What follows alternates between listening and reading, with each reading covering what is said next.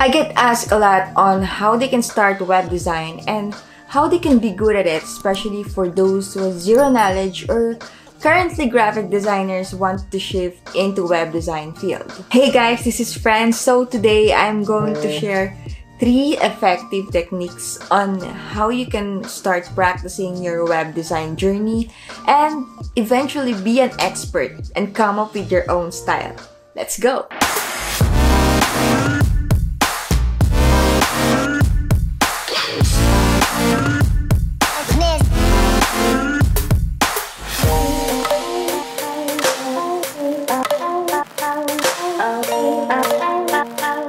So the first technique is to search. So what you're going to do here is to search or start looking for simple web designs from different creative sources like on Behance, Dribbble, Pinterest, Awwwards, or any sites that you can get inspirations from. So once you select one design that you like, save it or just screenshot it to your computer. So start with the basic, the simplest design that you can find. So next technique is to copy. And the third and last technique is to create or recreate the design and layout as is. So you can use tools like Figma or Adobe XD to recreate the design.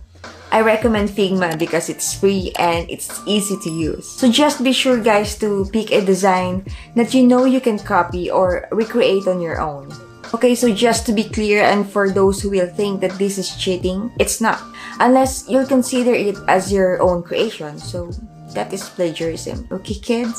So the goal here is not just to learn everything about the design you're creating, but also how it was created. So what do I mean by that? So you'll think at first that copying a design will be easier, but as you go along the process of recreating it on yourself, you will realize and gradually learn the details and every aspects of the layout and the artwork you're working on. So from the margins, paddings, the font used, colors, sizes of the images, and so on. So from this original layout and design, you can now create your own version. So play around with it and repeat the steps as needed until your own unique style emerges. So once you get the hang of it, there's no limit on how creative your version can be. So you can also publish this as a concept project, but just to be sure to credit the original designer who created that design. So it may not seem like much, but with each step forward in your learning process,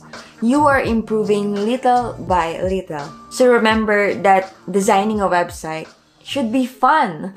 So don't let the process get too serious. Okay? So I hope you learned something on this video and next time we're going to discuss more about the UX and UI in simplest way so everyone can understand and follow along. So don't forget to smash the like button, share this video and subscribe to my channel for more web design tips and tutorials. See you on the next one. Bye!